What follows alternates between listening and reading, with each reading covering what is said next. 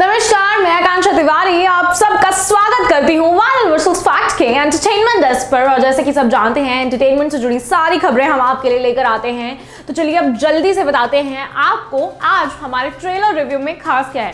Trailer review में खास है साइना का ट्रेलर वुमेंस डे वाले दिन साइना का ट्रेलर फाइनली रिलीज़ कर दिया गया है। खैर, ये फ़िल्म बायोपिक से ज़्यादा चर्चाओं में तब बनी जब श्रद्धा कपूर को फ़िल्म में रिप्लेस किया परिणीति चोपड़ा ने। बैडमिंटन प्लेयर साइना नेहवाल का रोल इसमें प्ले कर रही हैं परिणीति चोपड़ा। अब इनकी एक्टिंग से तहस नहस होगा आपके दिमाग का झोपड़ा या फिर बॉक्स ऑफ़िस पर झंडे गाड़ कर ये मूवी कमाएगी रोकड़ा। आज हम आपको बताएँगे अपने इस ट्रेलर रिव्यू में। सबसे पहले हम आपको बता दें कि ये फ़िल्म साइना नेहवाल पर है। साइना और सानिया में बिल्कुल भी कंफ्यूज होने की आपको ज़रूरत नहीं है। साइना रैकेट से बैडमिंटन खेलती हैं और सानिया रैकेट से टेनिस और यह फ़िल्म बैडमिंटन प्लेयर वाली साइना नेहवाल की है। वैसे, ये बात तो सही है कि बायोपिक्स की वजह से कॉपी कर रहे बॉलीवुड में फ़िल्मों में कुछ रियलिटी तो आ ही जाती है, लेकिन ट्रेलर इतनी खास नहीं दिखाई दे रहा है। क्योंकि शुरू के ट्रेलर में दो मिनट तक तो आपको यही लगेगा कि बॉनविटा की एड चल रही है। ट्रेलर के 30 सेकंड में आपको ये लगने लगेगा कि अभी तन की शक्ति, मन की शक्ति वाली लाइंस आने वाली हैं। लेकिन बहरहाल पूरा ट्रेलर देखने के बाद भी आप साइना नेहवाल के लाइफ स्ट्रगल से अपने आप को रिलेट बिल्कुल नहीं कर पाएँगे।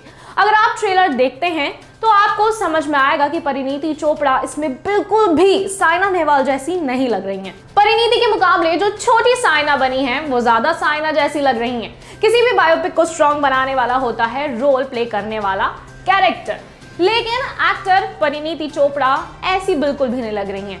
चाहे बात करें सुशांत सिंह राजपूत की फ़िल्म एम एस धोनी की, जिसमें वो क्रिकेटर जैसे बिल्कुल नज़र आ रहे हैं। फरहान अख्तर की, जो कई जगहों पर मिल्का सिंह से ज़्यादा मिल्का सिंह जैसे लग रहे हैं। या बात करें प्रियंका चोपड़ा की, जो मैरी कॉम जैसी तो नहीं लगती हैं, लेकिन अपनी एक्टिंग कदम से उन्होंने फ़िल्म में जो बॉक्सिंग की स्पिरिट है, उसको ज़िंदा रखा है।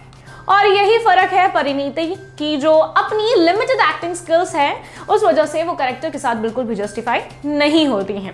तो फ़िल्म मेकर्स को शायद ये बात समझ में बिल्कुल नहीं आई है कि साइना नेहवाल के खेल ने लोगों का दिल जीता है। ना कि उनके दिल ने, क्योंकि परिणीति के चेहरे पर उनके तिल के अलावा ऐसा कुछ भी नहीं है जो उन्हें साइना जैसा बनाता हो। वरना जैसी तारीफ़ आज के समय में रणवीर सिंह की कपिल देव के बनने पर हो रही है, परिणीति चोपड़ा की भी हो ही जाती। परिणीति से ज़्यादा जान डाली है ट्रेलर में चाइल्ड आर्टिस्ट ने, जिसने बिना किसी डायलॉग के सिर्फ़ अपने एक्सप्रेशन के दम पर ट्रेलर में साइना की स्पिरिट को ज़िंदा रखा हुआ है। परिणीति की बात करें तो परिणीति चोपड़ा की बीते साल भले ही फ़िल्म कोई रिलीज़ ना हुई हो, लेकिन इस साल के शुरुआत में ही उन्होंने तीन फ़िल्मों का धमाका दे दिया है। 26 फरवरी को परिणीति चोपड़ा की फ़िल्म नेटफ्लिक्स पर रिलीज़ हुई थी द गर्ल ऑन ट्रेन उसके बाद सोमवार को फ़िल्म जो साइना उनकी आने वाली है, उसका ट्रेलर भी रिलीज़ हो चुका है। 26 मार्च को यह फ़िल्म रिलीज़ होगी। बीच में उनकी अरसे से अटकी पड़ी फ़िल्म संदीप और पिंकी फरार भी सिनेमा घरों में जल्द ही पहुँच जाएगी। डायरेक्टर अमोल गुप्ता ने बैडमिंटन खिलाड़ी साइना नेहवाल की बायोपिक साइना श्रद्धा कपूर के साथ शुरू की थी। श्रद्धा कपूर को इससे बेहतर फ़िल्म लगी स्ट्रीट डांसर तो भाई वो स्ट्रीट डांसर की राहों पे निकल गई। फ़िल्म की शूटिंग बीच में ही रोक दी उन्होंने और फिर फ़िल्म में एंट्री होती है परिणीति चोपड़ा की। फ़िल्म के ट्रेलर लॉन्च में परिणीति बताती हैं कि भले ही उनकी फ़िल्म में एंट्री देर से हुई हो, लेकिन इस वजह से उनका उनके काम पे कोई भी असर नहीं पड़ा है। परिणीति कहती हैं कि मेरे ऊपर सिर्फ़ अपने निर्देशक के सामने खुद को साबित करने का दबाव था। बैडमिंटन सीखने का दबाव था बस बाकी किसी भी तरीके का दबाव उन्होंने महसूस नहीं किया। फ़िल्म साइना को देश की बड़ी फ़िल्म व music company T Series release कर रही है। फ़िल्म के ओटीटी राइट्स बिक चुके हैं और साल 2019 में रिलीज़ हुई फ़िल्म जवरिया जोड़ी के बाद परिणीति की ये पहली फ़िल्म होगी जो थिएटर्स पर दस्तक देगी। फ़िल्म की मेकिंग्स के दौरान बैडमिंटन चैंपियन साइना नेहवाल से मिली मदद का ज़िक्र भी परिणीति यहाँ पे करती हुई दिखाई दी। परिणीति बताती हैं कि हमें साइना का पूरा साथ मिला है। उन्होंने अपने जीवन के हर पहलू को हमारे सामने खोल के रख दिया। मैं उन्हें कभी भी फ़ोन कर सकती थी वीडियो कॉल कर सकती थी और वो हमेशा मेरे हर सवाल का जवाब देती थी।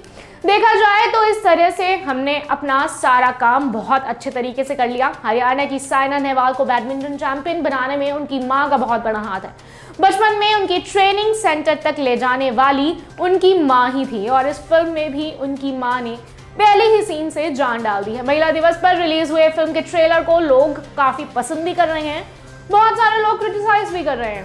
पहले फ़िल्म का जो पोस्टर आया था, अब पोस्टर को फाइनली चेंज कर दिया गया है क्योंकि लोगों ने उसे टेनिस की सर्विंग से काफ़ी कंपेयर किया था। खैर, आपको इस फ़िल्म का ट्रेलर कैसा लगा, हमें कमेंट सेक्शंस में ज़रूर बताएँ। साथ ही हमारे चैनल को सब्सक्राइब करके बेल आइकन प्रेस करें, ताकि हमारे लेटेस्ट अपडेट आपको सबसे पहले मिले। और जाते जाते हमारे इस वीडियो को लाइक और शेयर करना बिल्कुल ना भूलें।